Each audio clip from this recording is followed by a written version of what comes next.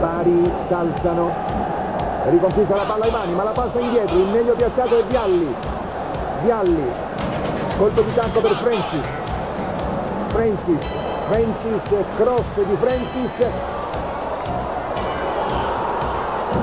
E tiro e gol di Stones la Sampdoria in vantaggio ha segnato Stones al 24 minuto